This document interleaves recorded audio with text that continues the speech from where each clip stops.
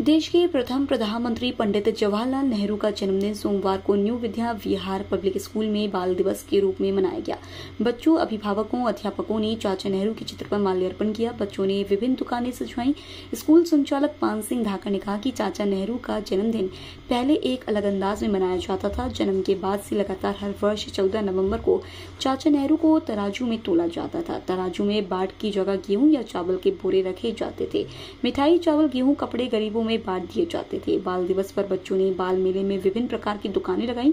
इस दौरान विद्यालय के प्राचार्य सोवरन कुशवाहा महेंद्र बाथम प्रियंका ओझा संजय ओझा कान्हा कुशवाहा मैडम सहित पालकगण उपस्थित रहे। विराट से धर्मेंद्र शर्मा की रिपोर्ट।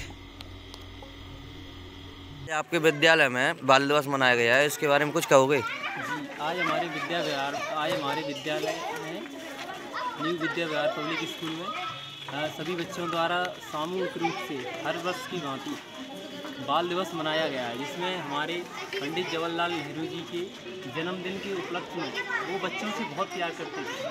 तो उन्होंने अपने जन्मदिन को बच्चों के जन्मदिन के रूप में मनाना श्रेष्ठ समझा। तो जब से लेके आज तक से सर्वप्रथम हमारे उन्नीस सौ सत्तावन से स्टार्ट हुआ था बाल दिवस मनना। जब से निरंतर उनके जन्मदिन के उपलक्ष्य में ये मनता आ रहा है।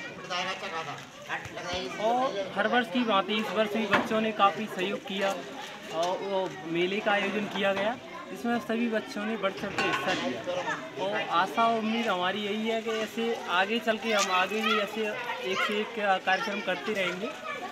और हमारा बच्चों का से जितना सहयोग बन पड़ेगा, हम करेंगे। और सभी को हमारी तरफ़ से बाल दिवस की हार्दिक शुभकामना सभी स्टाफ की तरफ़ से, बच्चों की तरफ़ से। इन्हीं शब्दों के साथ हम विराजमान